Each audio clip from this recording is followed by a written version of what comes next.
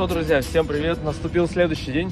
Сейчас мы поедем на метро до Бурж-Халифы или еще куда-нибудь, я не знаю пока. Все видео спонтанные, здесь нет времени планировать особо. Как получается, так и записываю. Ближайшее ко мне метро это Сабхар и Алти. Туда нужно дойти. Минут 10.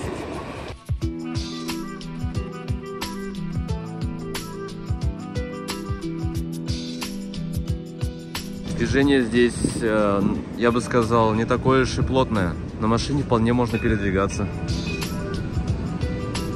Мои международные водительские права еще не пригодились. Ну, у меня еще много времени, я здесь три дня только пока что нахожусь. Я буду адаптироваться в городе Дубай и буду вам это показывать. Кофе горячий, латте. Жару тоже отлично заходит, почему бы и нет.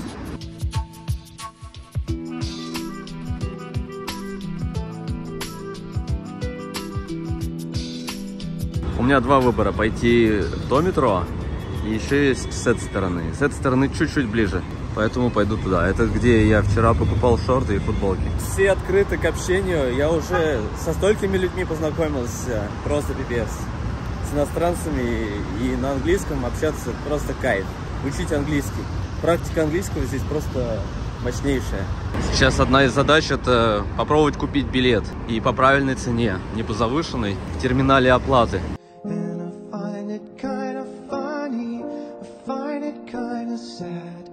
Зашли в метро, точнее переход через дорогу. А вот тут уже кайф. Прохладно, кондиционер работает. Кофе допил, не знаю где выкинуть, пока еще урну не нашел. Дороги очень широкие, просто так не перейдешь. Поэтому существуют такие переходы. Смотрите, как они расположены. Тут trams, тут train. Вот такая она пустыня. Нереально дикая жара. Если прямо идти, exit, выход. И поезда, метро, направо. Ничего сложного. Я ходил на той стороне дороги, уже перешел. Я не знаю, на каком моменте одевать маску. Наверное, лучше сейчас. Штраф неохота получать. Почему я не понимаю? Потому что некоторые люди с масками, другие без масок. Непонятно. Вот в таких аппаратах можно купить билет. Я хочу сейчас приобрести. Тут английский язык должен быть. English выбираем.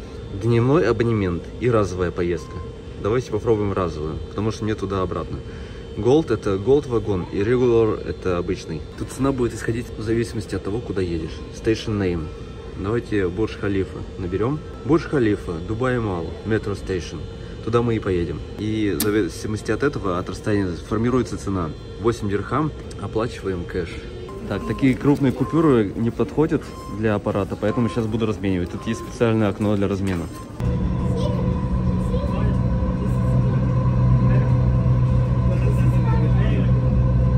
Меня завели в отделение полиции в метро. Сейчас расскажу подробнее, из-за чего и что там было. Третий день Дубая уже имею дело с полицейскими. المحطة القادمة هي الخليج التجاري. The next station is Business Bay.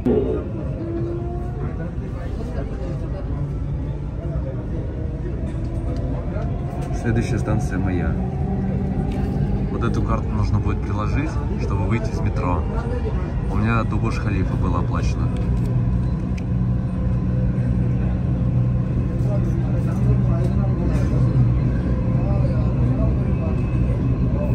А вот и Бурж-Халифа. Самое высокое здание.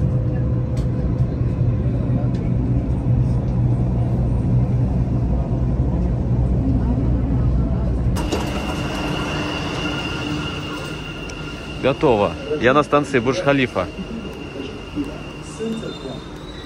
Такой приятный язык арабский, блин, и голос приятный в метро. Блин, арабский язык такой красивый, особенно объявления вот эти в метро. Что женский, что мужской голос, очень приятно звучит, очень красивый. Когда в самолете летел, тоже объявление на арабском, так приятно слушать. Сейчас будем прикладывать карту, чтобы выйти из метро. При вас это сделаю. О, прошел. Кстати, полицейских снимать нельзя, и этот еще. Здесь э, пить нельзя метро и спать. Идти до Бурж-Халифа, до Дубая Молла очень долго, поэтому такие траволаторы спасают. Придается ощущение ускорения. Вот так идешь, короче. Пипец, супер.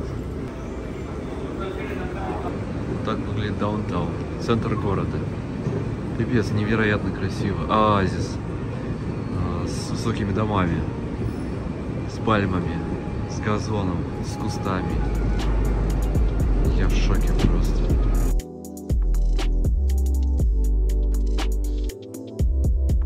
А эти рыбки в угол забились.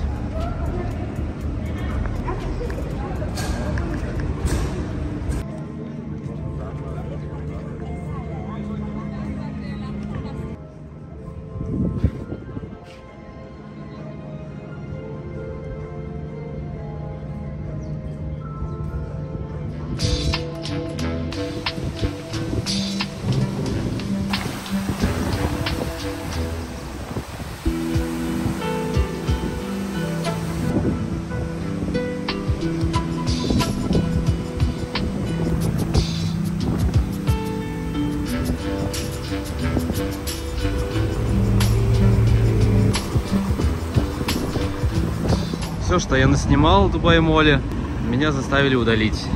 Потому что нужно разрешение. А ходил я там больше пол- получаса. Ну, почти целый час. А это у нас даунтаун, центр города. Жалко, конечно, что пришлось весь материал удалить. Но что поделаешь. Тут покрытие асфальта, ну частично асфальт, а здесь плитка, как у вас дома на кухне. Это все плитка, и поэтому колеса скрипят.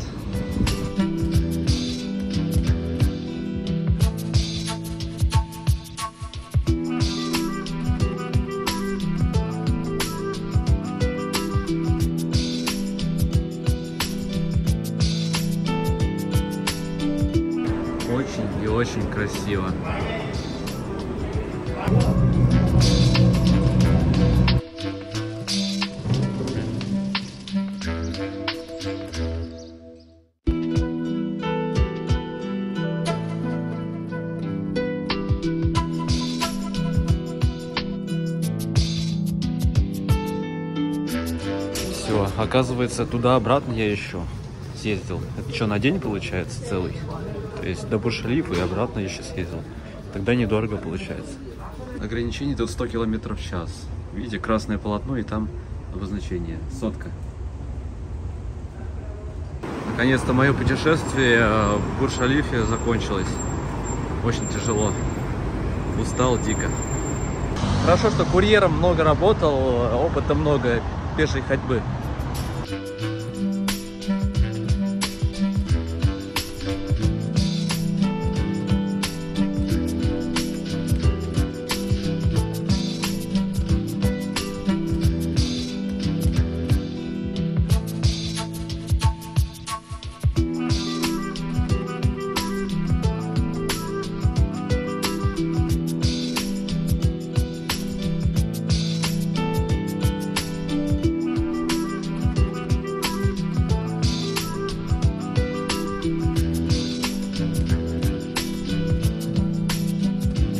Эти автобусы, они для рабочих. Как у нас пазики ездят, э, служебных рабочих развозят.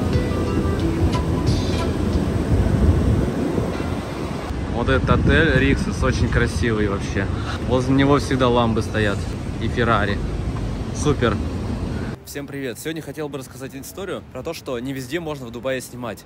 Я сегодня ехал в Бурж-Халифу, как вы все знаете, да? Я захожу в метро, снимаю, хотел снять, как я покупаю билет, то есть сколько стоит билет э, в метро и так далее. Полицейский это увидел, мною заинтересовался, пригласил меня в комнату полиции, и мне пришлось все показать. То есть произошел небольшой обыск, я все показал, что, что у меня есть. Он потрогал э, трипод, iPad, э, все кармашки, какие деньги у меня есть, а, наличие запрещенных предметов.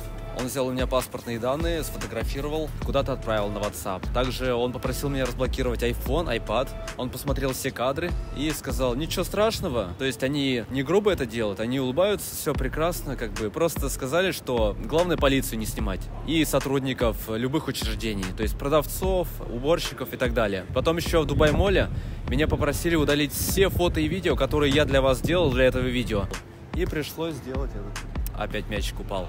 И оформили мне бумажку, где было написано, что я не знал законов и местных правил в Дубай-моле. То есть снимай все, что хочешь, только без разрешения в Дубай Молле снимать нельзя. И тем более security и лиц, которые там работают, сотрудников. Ну, обслуживающий персонал, те, кто мороженое делает, в KFC, Макдональдс и так далее. Ну, полицейские еще подписались на мой YouTube канал. В принципе, посмотрели видео, им понравилось очень даже. Особенно про Дубай. Они сразу улыбнулись, когда увидели. Вот такие необычные дела сегодня произошли. Ну, это интересно, новая страна, новые законы, поэтому буду изучать дальше. Жилье у меня недорогое, на Boosty я рассказал. Если я это видео сейчас записываю, то на Boosty, скорее всего, уже есть информация, как здесь недорого снять жилье. Очень недорого, вообще за копейки. И здесь жить можно очень дешево. Ой, а давайте в воду зайду, вам расскажу. Там в воде мне лучше как-то общают. Волны мощные пошли от корабля этого, от яхты. Здесь я чувствую себя более расслабленно в водичке. Видите, у меня все сгорело от того, что я... Короче, давайте расскажу. Метро меня досмотрели. Вытащили из рюкзака абсолютно все, что у меня было, потому что я вызывал подозрение, может, какое-то. Хотя я просто хотел снять видео. Сотрудник полиции извинился, конечно, потом, что у меня ничего запрещенного нету. Но, блин, я так пообсирался немножко от страха. Вот, потому что непривычно, когда тебя обыскивают. Потому что в России, как бы, полиция на меня вообще внимания не обращала, когда я видео снимал. А в Дубае, да, я типа тут этот, э, турист. Турист, короче. Вот, но полиция здесь хорошая, очень вежливо общаются. Потом еще в Дубай-моле меня security остановили и спросили цель съемки. Попросили показать все, что у меня есть. Какие фотографии я сделал. А, паспорт отсканировали, у них специальное приложение. Как и security в Дубай-моле, так и полиция, они отправили кому-то на WhatsApp мои данные. Я спросил, будет ли штраф. Ну, конечно, все общение происходило на английском. Штрафа сказал не будет. Вздохнул с облегчением, слава богу. В общем, крупно повезло. Они понимают то, что здесь законы, да, строгие, но из-за того, что ты турист, к тебе всегда относятся более-менее так, мягко. Это приятно. А учитывая то, что здесь русскоязычного населения очень много, а, к русским относятся здесь очень хорошо. За это им спасибо огромное. Нельзя снимать э, security, полицию тем более. Вот э, я серьезно говорю, вообще не стоит снимать. Снимать можно только себя. А, когда еще Бурдж-Халифу снимаете на камеру, нельзя а, комментировать. То есть можно просто видеоряд использовать, но во время того, как снимаете Бурдж-Халифу, говорить ничего нельзя. Я еще все законы почитаю, интересно будет. На Boosty я рассказал, как здесь недорого жить и как жить по московским меркам. Ну, по московским ценам, дешево. Также от вас мне нужен один совет. Вот как сделать так, чтобы, когда я купаюсь, а, переодеть трусы, не снимая другие? Прикольные чипсы тут продается. Принглс маленькие. Ну, такие в России тоже есть. Стикс я в России еще не видел. Вообще, что хочешь, такие необычные продукты, это забавляет. То есть нет ничего того, что тебе все надоело, и здесь все новое. Картинка новая, товары новые, язык другой. Короче, если у вас депрессуха, сюда приезжайте, у вас все новое получится. Сейчас у нас 33 градуса жары, а время 8 доходит. Вот эту штуку я с ананасом пил, такая бомбовая штука вообще, а там кусочки ананасов еще.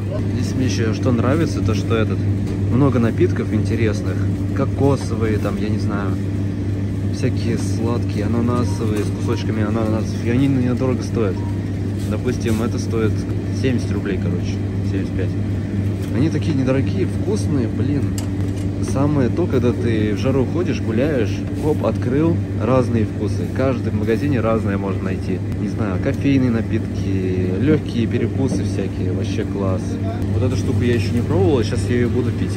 Coconut water. Кокосовый, что ли? Я вообще люблю кокос. Ну что, пацаны, давайте попробуем.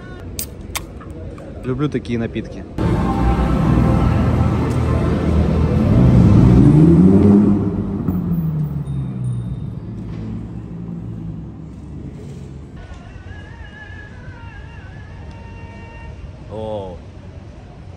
Что-то среднее между водой, молоком и кокосом. Кокосовая вода, точно, кокосовая вода.